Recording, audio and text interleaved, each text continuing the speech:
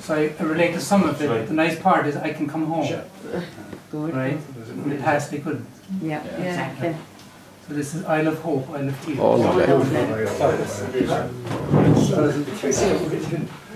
Yeah. I haven't sung this and I can't remember how long. it's On the first day of January 1892, they opened Ellis Island and they let the people through. And the first to cross the threshold of that Isle of Hope and Tears was Annie Moore from Ireland, who was all of 15 years.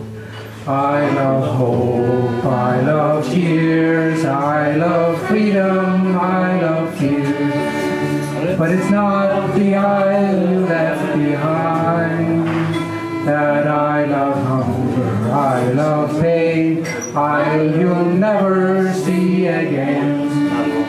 But the isle of home is always on your mind. In her little bag she carried all her past and history and her dreams for the future in the land of liberty. And courage is the passport when your old world disappears. But there's no future in the past when you're only 15 years.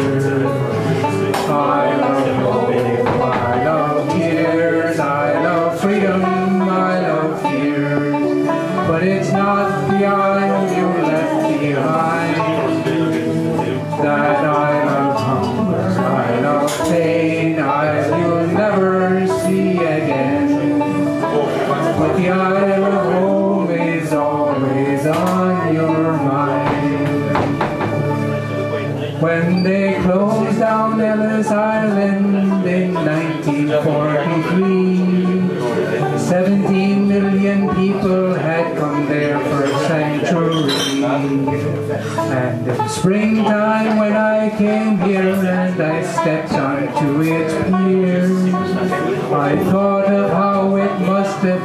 when you're only 15 years. I love hope, I love tears, I love freedom, I love fear. But it's not the